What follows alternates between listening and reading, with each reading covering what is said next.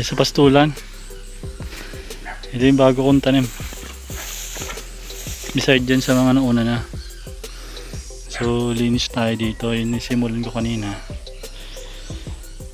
Ayan. Diyan ako naglilibing ng mga nagkakasakit na manok. So matagal-tagal din ako nila nakapag-harvest kaya makapal na.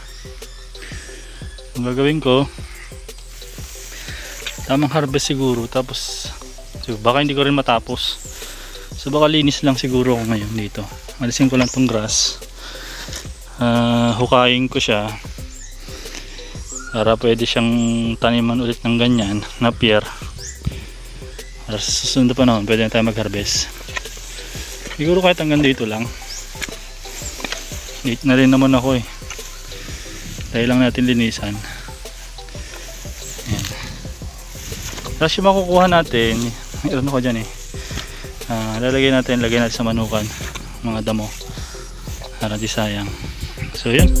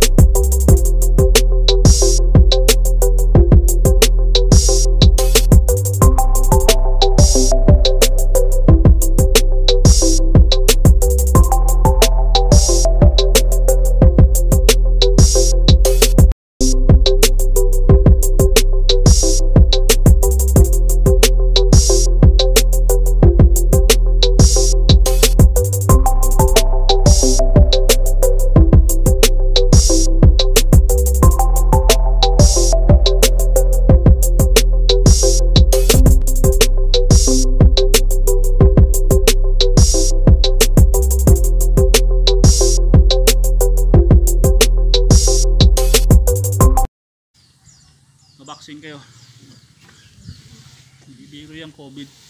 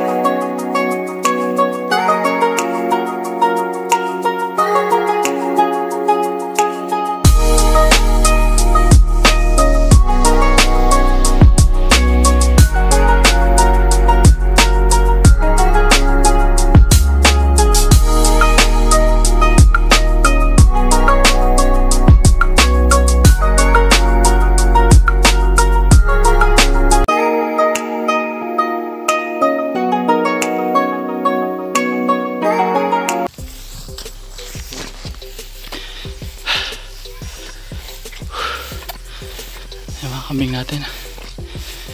Ayun, pastulan. Sila.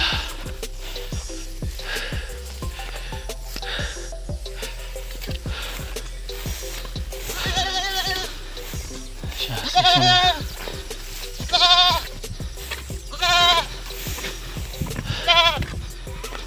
So, ayun si Kain tsaka si Candy.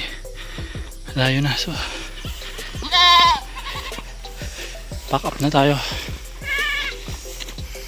Hapon na. Bebe na rin natin yung mga yan. So, that's it. Kaya tingnan nyo rin yung nagawa natin. So, ito yung gagawin natin. Ito yung prepare natin. So, itong mga to, pick up natin yan. Ok. La laisse.